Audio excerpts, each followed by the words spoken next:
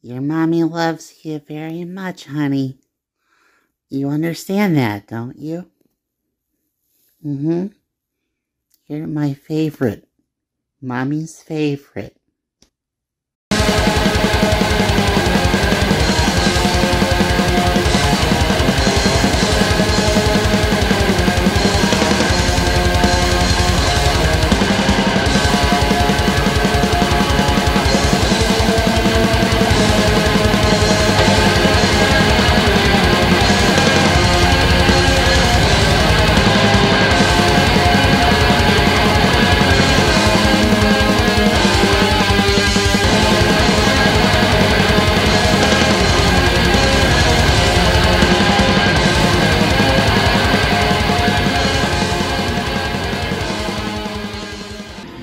Mother, your mother loves you just, just fine. But I'm not a fan.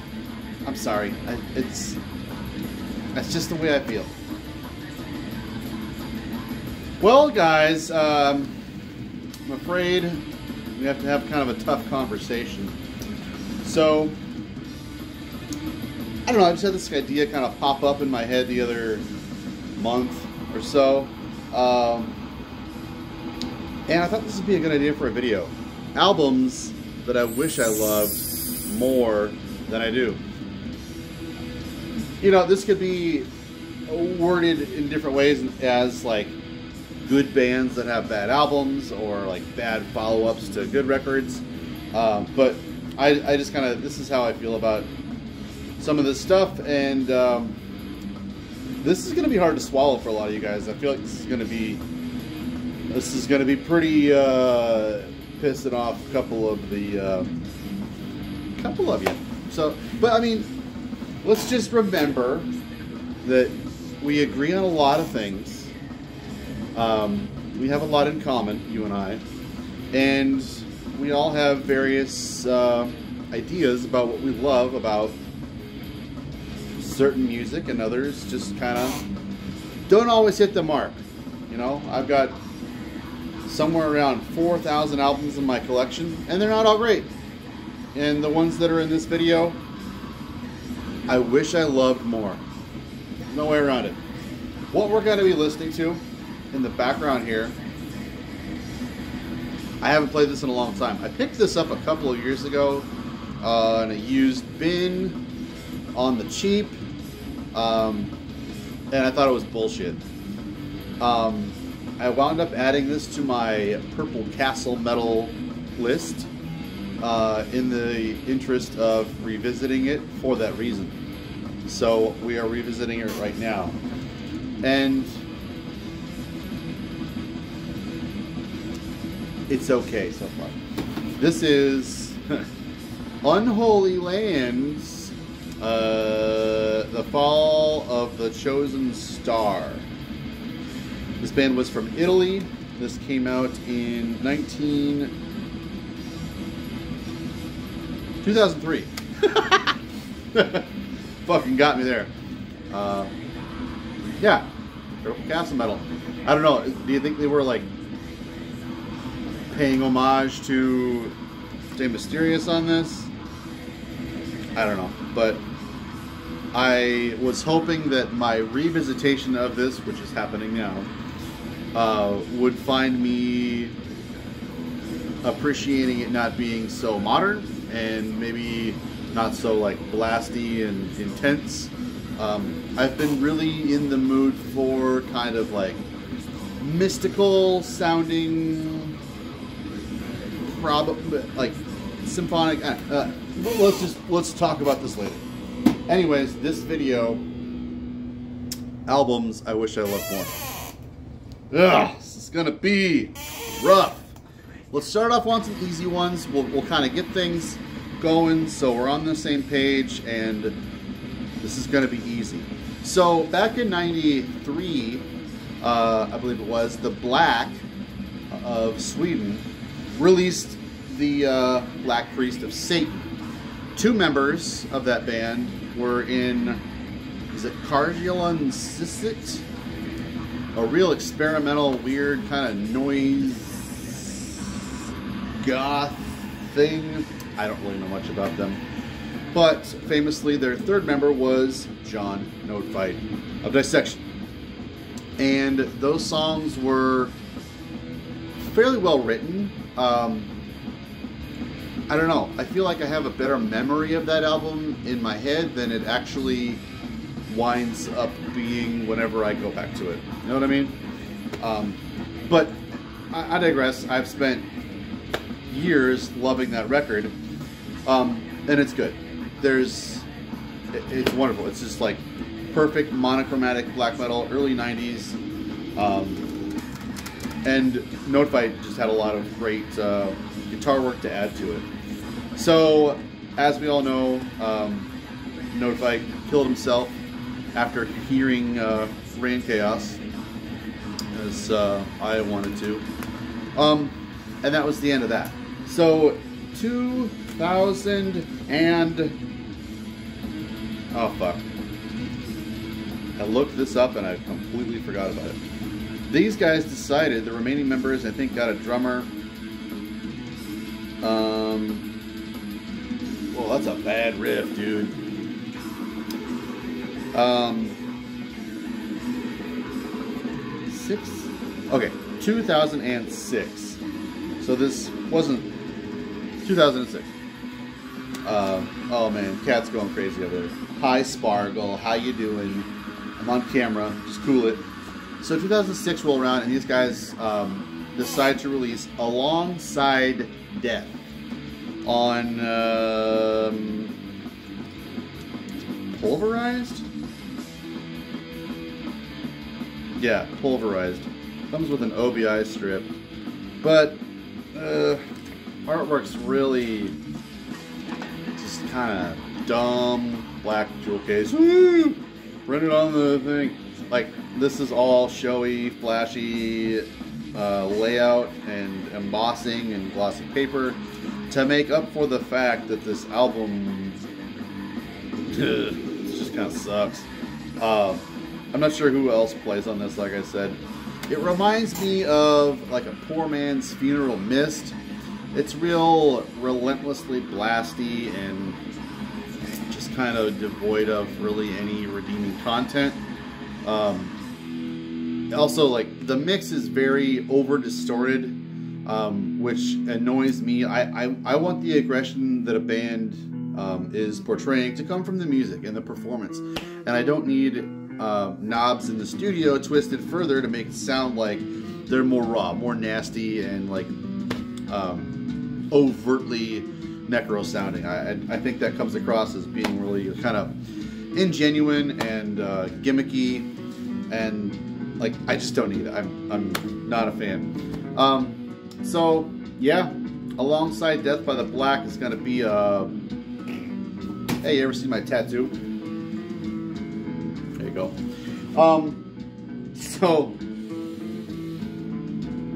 yeah, I, well, let's just get this out of the way. Um, I know, I know, I know, I know, I know. Get, get, back, sit up, back up, back up, back up. Um, so my entry point on Morbid Angel, domination. David Vincent was what I loved about that band. One of the things I loved about that band, that trio was it, man. Um, so following this band into this era was hard for me.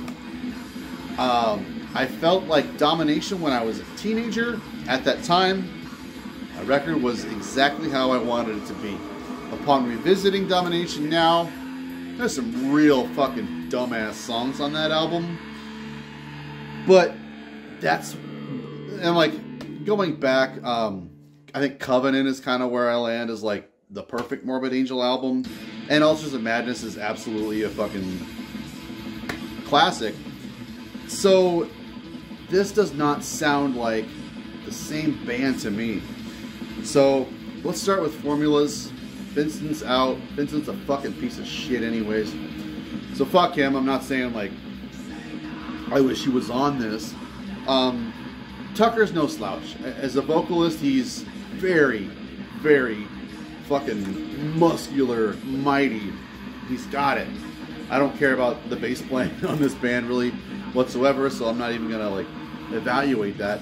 But the songwriting on this just, and it just kind of seems really serpentine and kind of wanders off and really like tangential. Um, and I just can't really follow it as linear songwriting, memorable songwriting that has like references to itself that are clever or artistic. Um, I just kind of feel like these songs wander around, um, kind of not finding their uh, a good footing in uh, something that I would want this band to be. This isn't a bad record whatsoever. Just after after such a progression of Altars of Madness, Blessed Are the Sick, which is an album I wish I listened to more often, um, and Covenant, and then Domination, like what a string of uh, killer fucking records. This just isn't where I saw the band falling after that. Now, I think of the two of these, I might prefer Gateways a little bit more. Um, but again, like when these came out, I didn't really listen to them very much because they just didn't blow me away like I wanted them to. Um, and that's really been like kind of what's painted my attitude of these albums ever since. Um, so I think this album sees uh, Erik Rutan returning to the fold, so they're back to a four piece. And I've always thought Rutan's uh, lead work was really awesome. Am I wrong about that? I'm not sure.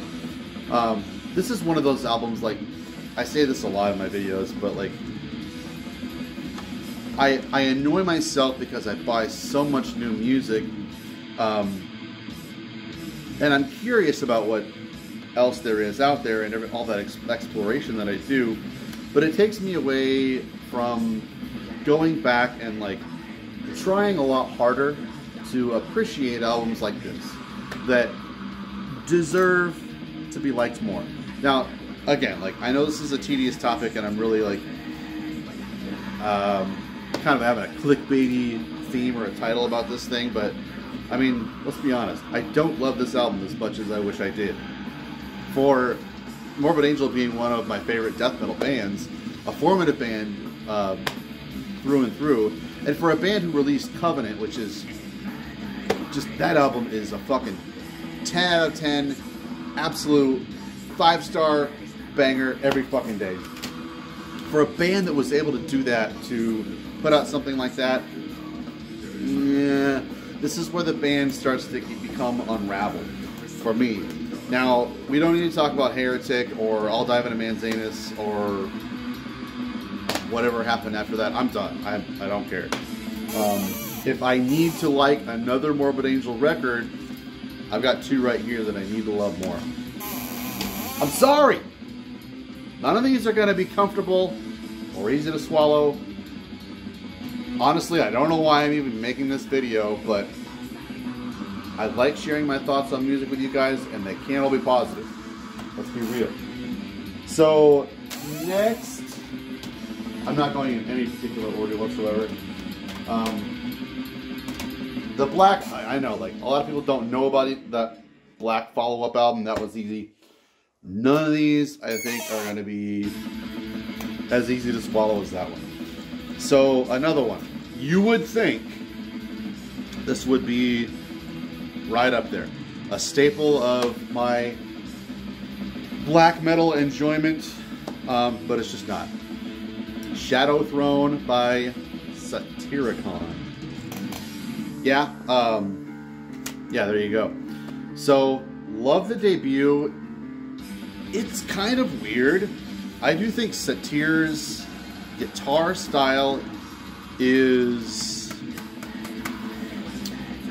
I can say a lot about it. It's weird. I think it's a little too weird for um, to like really be to, to really deserve a place in the pantheon among your Dark Thrones and your Ulvers and your Emperors and your Gorgoroths and Immortals. I think Satyricon's per, uh, like very specifically their guitar work, their riffing is fucking weird. the debut, I think they made it make sense. I don't think Satyr quite found his, I guess, footing in that personality as a guitar player, um, or like what he was going for um, until this album. Um, but these are just some of the the oddest fucking riffs. I can't. I I don't know what the hell he was thinking most of the time. Um, now everything else on here, vocals fine. Uh, I'm actually a really big fan of Frost's drumming uh, on in a in a slew of eras and albums and bands that he was in. I really like his playing. I've got no problem with that whatsoever. Um, I believe wasn't this even recorded in um, Grieghallen Studios? Sorry, I have a shitty bootleg of this. I never picked this up when I was um, first getting into metal, but um, somebody on Discogs tricked me into buying this thing. Luckily, it wasn't that much money. Um, I, I, would still be interested in picking up a, a, better version of this, I think.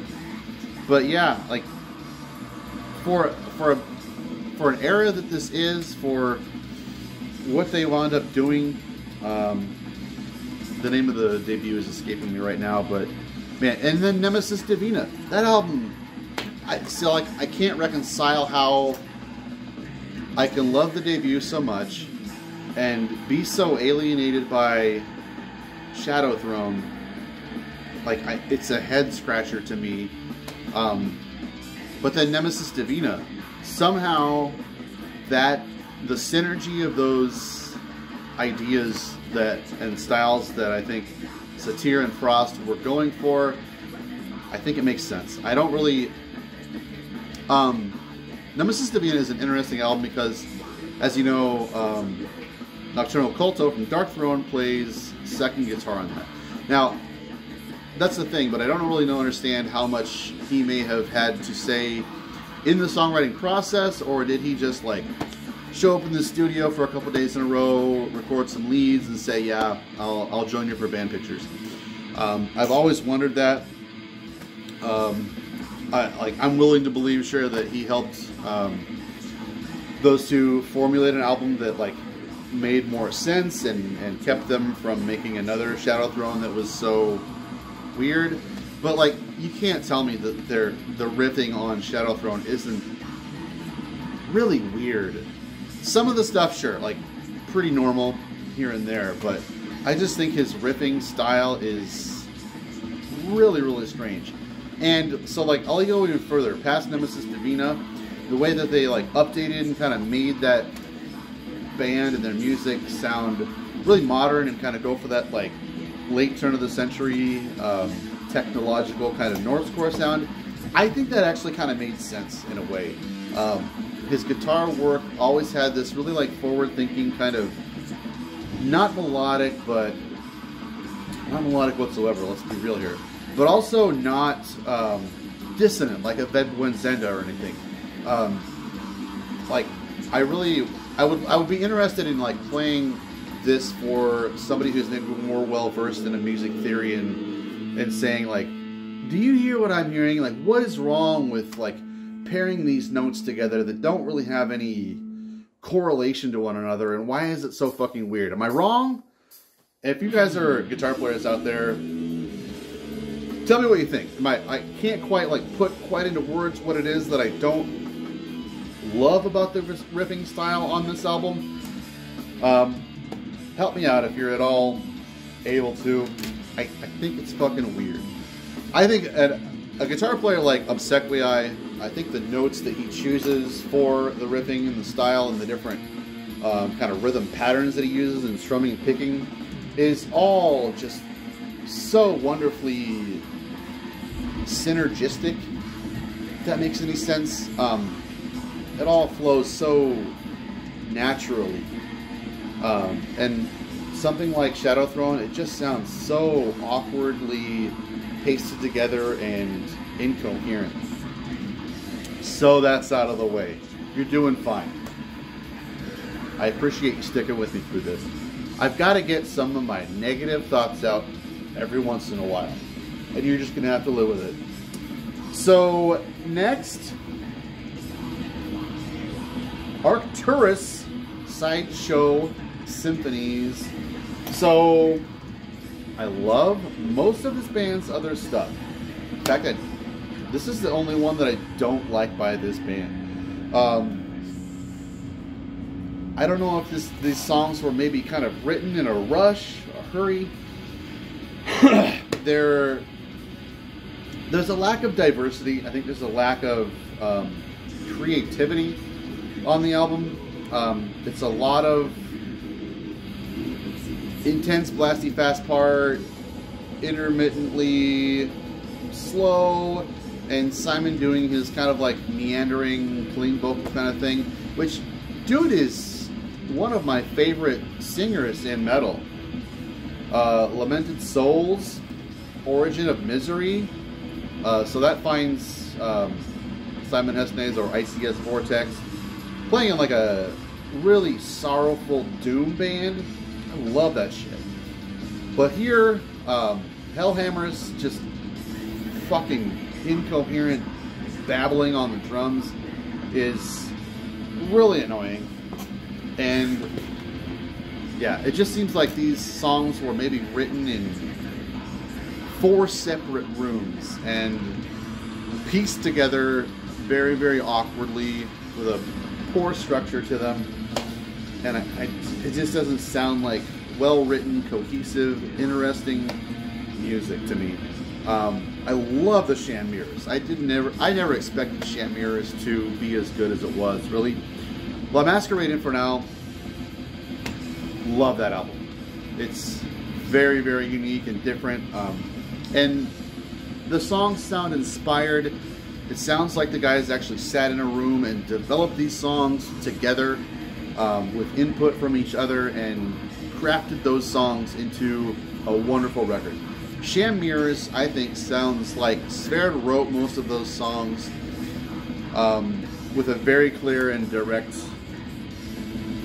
uh, vision of how they would turn out and had the musicians record them well. Um, and I and I think Sham Mirrors is just great. It's a lot more down to earth than La Masquerade. It's a lot more just kind of a direct, um, kind of proggy, but somewhat black metal symphonic record. Um, but this thing, ugh, it's just like an awkward, like kind of trying to find a new voice for the band. And ugh, ugh, this doesn't work. None of this works for me. Um, and to make this even worse, um, like like I felt so bad about how much I didn't like this album that I bought the, the live shipwrecked in Oslo DVD, and that thing is just embarrassing. I was embarrassed for these guys so much. So fast forward even further, um, Arcturian, I kind of expected more of the same um, that I didn't like about this record, but Arcturian actually really surprised me. Um, I don't love it. I'm kind of like, I'm fearful of how much I could dislike it. I haven't really gone back to it yet. I have a copy of it. Um, I've listened to it about two or three times, and I've gone like, what the hell?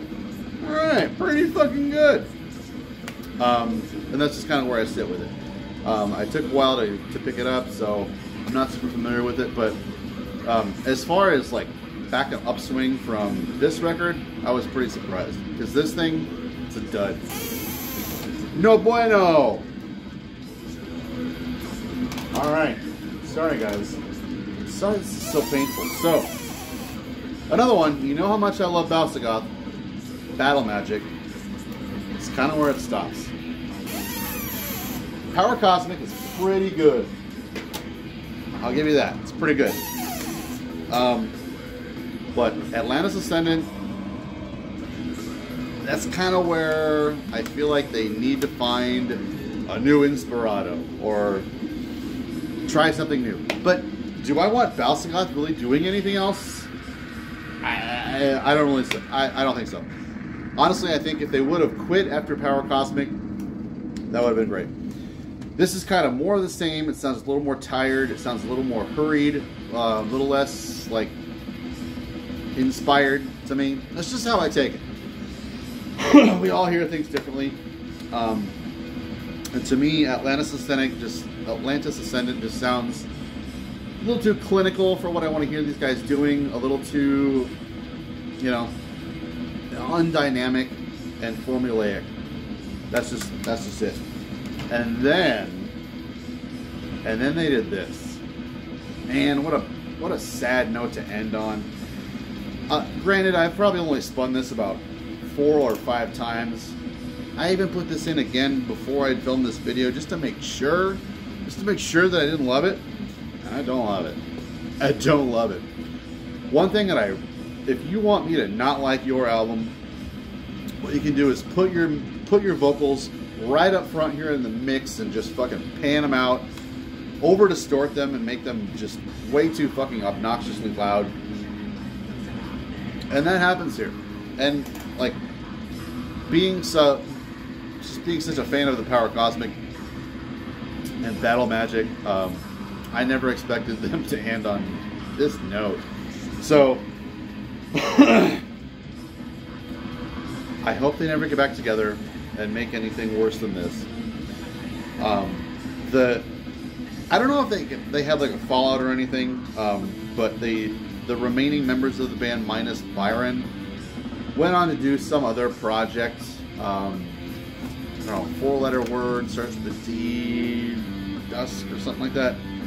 Um, it was pretty good. I so like I don't know was did Byron go crazy and make this album like really really bad? It kind of sounds like a a home studio kind of project just to fulfill like a record contract. It did come out on Candlelight, so that could be the case, but yeah, just not feeling. Uh, what's it even called? The Chthonic Chronicles. Nah, man. Nah, I'm good. So I mean, I don't know. I I enjoy witchcraft with a lot of my friends. Obtained, enslaved, and witchcraft. Um, that album's perfect. That's, that's another 10 out of 10. No question. Uh, they followed it up with um, Soul Blight, which was really good, but just the only thing wrong with Soul Blight is that it's too similar to Witchcraft. Um, I don't know. I, that's it's kind of a hard record to say a whole lot about. It kind of sounds like um, songs that maybe weren't quite good enough to be on Witchcraft, I guess. Um, and if it were another band that released Soul Blight, I'd love it just as much, I think. Nothing wrong with that. However, that should have been the end for Obtained Enslavement, but it wasn't. So they had to go and fucking push their reputation down in the mud, piss all over its corpse, and shove a bunch of burritos up its butthole because the shepherds and the hounds of hell is an absolute pile of shite. What? Oh, what? Like this shit stank. Shit stank like shit. Um, it's basically doing what every other black metal band did in the late '90s back then it was either you kind of like embrace the whole turn of the century technological kind of thing and add a little bit of like industrial or electronic kind of element to your music, or you went like in a black thrash kind of direction. And I guess that's kind of what this is. Um, it's just boring, tired, really generic, ugh, uh, thrashy black metal kind of songs. There's really not an element to of like symphonicness or orchestral qualities like the previous two were. Like that is some of the most brilliantly well composed symphonic black metal you'll ever fucking hear. They're never gonna top that. Uh, but this fucking record stinks. There's no way around it, dude. Even that album cover. That album cover is trash. Get that trash out of here. Um, let's see. Back to some death metal for a minute. Um, one of my favorite death metal bands. Exterminate, The Inexorable, Flawless. Should have ended there, boys. They got back together. I don't know if they were satisfying a record contract with uh, Osmose or whatever, but Of Lucifer and Lightning is not great. It's got John Longstreth just kind of blasting through he might have spent two or three days writing this thing. I don't know. I could be wrong. Um, but it's not good. Uh, I don't know if it sounds like none of these guys really wanted to be on this record or do it. Uh, just doesn't work. The mix is really kind of poor. Mm, not a fan. Um, there's a there's a fan made like remix of this album on YouTube that's actually pretty redemptive, but there, there's just there's just not a whole lot here to enjoy. Um, riff wise, it's pretty tired sounding. Um, anyways, what I was saying was, um, many many years ago there was like a rumor on a, on the Relapse forum saying that Pete Helmkamp was playing bass on a tour back in 2003 or so. And I didn't believe it. I didn't believe any of it. And back then I was talking to Pete Helmkamp here and there. Um, so I was like, hey dude, are you playing bass in Vital Remains? And he said, no, I'm an artist, not an employee. And I just thought that was like very well put. Um, and that made me have a lot of respect for him. On top of his lyricism. Um, so like lyrically, this is okay. But the drums on here are really just kind of uninspired, uncreative sounding. Same with the riffing. And if you don't have good drums or riffs, you kind of don't have a lot.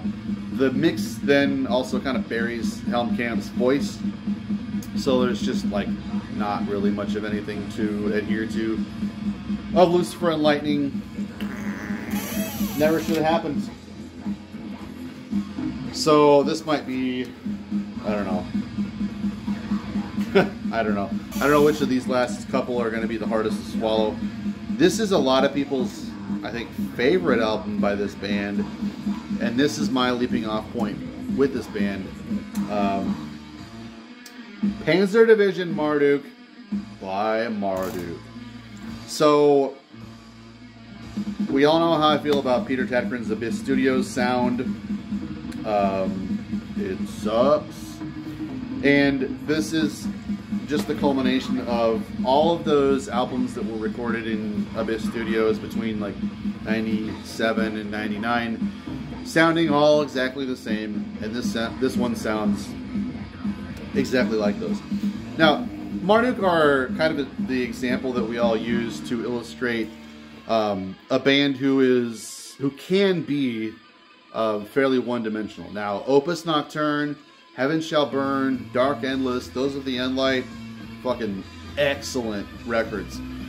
Um, so I didn't want to hear a band that was so good lose so much of their um, diverse instrumentation and songwriting skill. They were so great at writing vampiric songs with lots of depth to them and trying out lots of different ideas. So all of a sudden, though, they got really obsessed with World War II and wanted to sound like fucking tanks driving through the, the war field and blasting guns at you.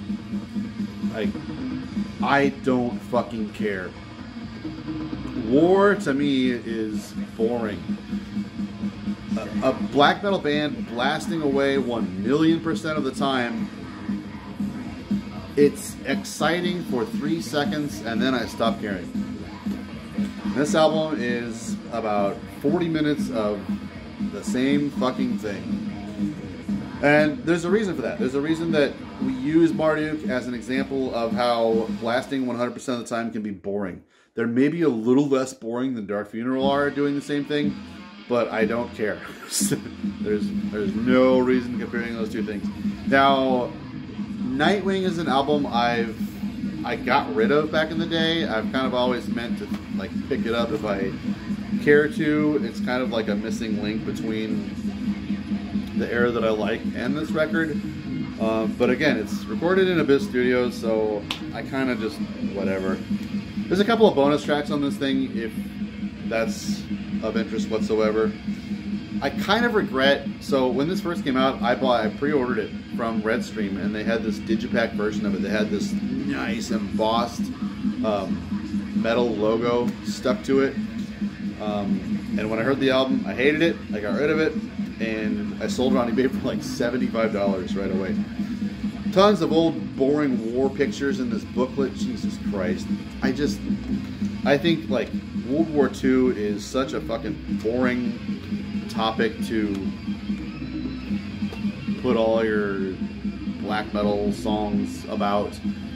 Um, so yeah, this is my leaping off point for Marduk. Um, I have like Rom 5:12, which was eh, maybe I only like it because it's not as stupid and one dimensional as this is. Um, like I get it. I, if I if you were to hand me like a new black metal album of a band that I hadn't heard of, and there was like one song on it that sounded like this, and the other songs were something different, I might go, man, that one fucking song, right? But when you give me a whole album of the same thing, I'm over it. I don't care. Boring. Let's move on. Lastly, why do you guys love this band? Shit, I just dropped it. Whatever. Um, Agalloch. Uh, is this Pale Folklore? This is the mantle. I just dropped uh, Pale Folklore. Yeah, man. Um, I love a lot of bands who owe a lot of um, inspiration to these guys for being kind of one of the first to, I don't know, incorporate a lot of acoustic and kind of heartfelt, keyboardy, melodic moments to an otherwise kind of slow, paltry black metal. I, I really have a hard time considering this much more than black metal adjacent. I have some weird pressing of this. I cannot find this on Discogs at all. It's like co-release between Growl and Prophecy. It's not the end. Um, it doesn't have Agalloch on the cover whatsoever. If that, if you get, if you get up on that, you're welcome. Um, but yeah, I just think this is a really tired um, version of that idea. I think a lot of other bands were influenced by Agalloch and they did it a lot better. Um, but I think the vocals are just so fucking generic and uninspired, and it just sounds like cartoony. It sounds like a like a really poor, poorly performed version of a of a maybe good idea. Um, it, it's just not convincing to me. It sounds a, far too contrived to be really really heartfelt. There's a couple of for me to like appreciate it as heartfelt. I'll I'll, I'll clarify. Um, the Marrow of the Spirit is an EP they did that I actually kind of like. Um, but yeah, for the most part, this band is just consistently off-putting in a way because of how generic it sounds. Um, what was I gonna say? Anyways, we're going on 40 minutes here. Um, I think that's enough damage. I think that's enough pain that I've inflicted upon you guys.